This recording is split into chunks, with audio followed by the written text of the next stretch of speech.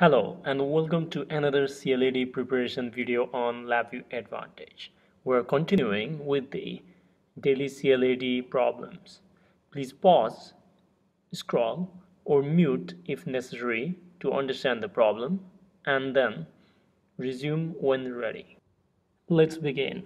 You have been asked what is numeric array out following execution of the VI. If you look properly, there are two shift registers and the auto indexing, which will be the three input for this for loop.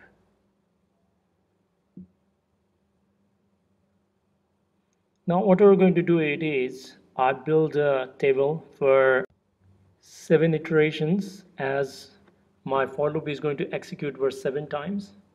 So the auto indexing values will be respectively 2, 1, 4, 2, 3, 1, 5.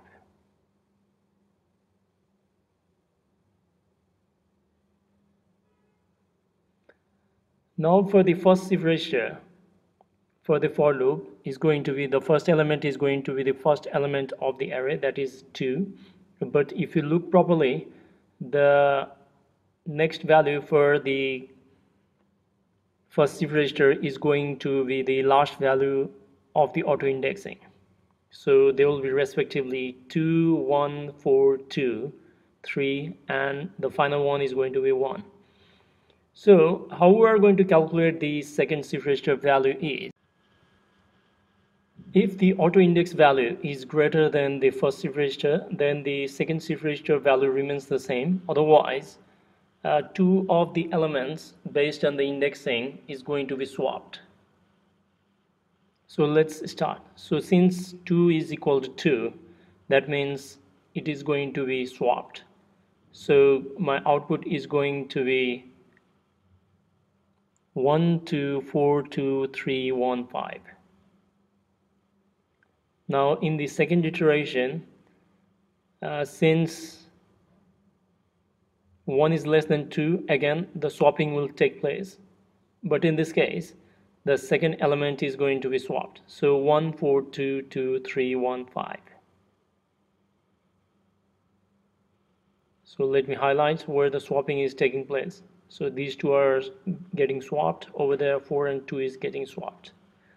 Now in the third iteration since 4 is greater than 1 so there will be no change and since in the third uh, 2 is less than 4 so again swapping will take place. 1 2 3 1 4 2 3 2 1 5 so 3 and 2 are getting swapped.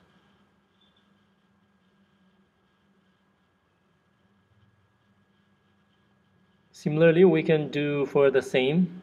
Again here like uh, 3 is greater than 2 so no change and 1 is less than 3 so swapping will take place again. So 1 4 2 3 2 5 1 so 5 and 1 will be indexed.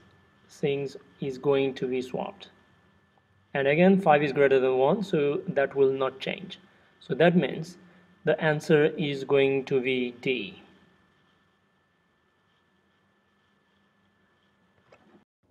Please like, share and comment on this video and please do not forget to subscribe to this channel for future LabVIEW videos. I'll see you next on the another CLAD preparation video.